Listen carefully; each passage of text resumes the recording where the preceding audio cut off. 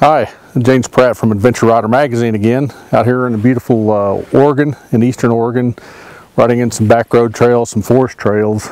Um, just a little bit of information. If, if you guys, uh, you know, I was out in um, Oregon out on some of the paved roads and I stopped there and saw a lot of a lot of bikes going to the rally, the MOA rally, and they were a lot of BMWs, but they were all clean as a whistle, and uh, even a lot of GSs.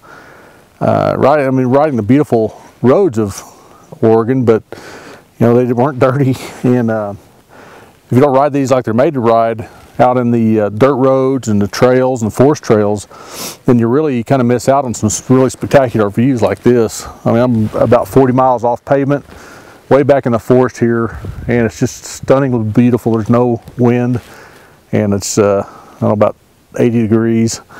Really nice day to ride.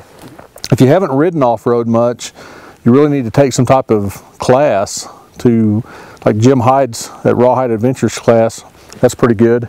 He, he will really teach you how to uh, ride these type of trails and make you feel a lot more confident.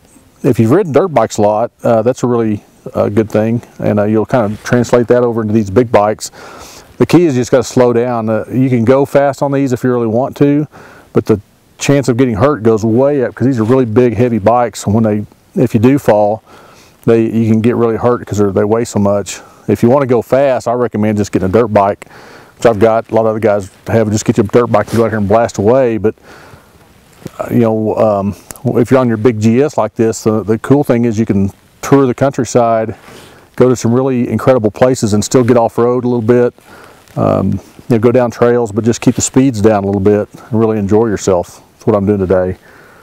So um, hope to see you at the rally.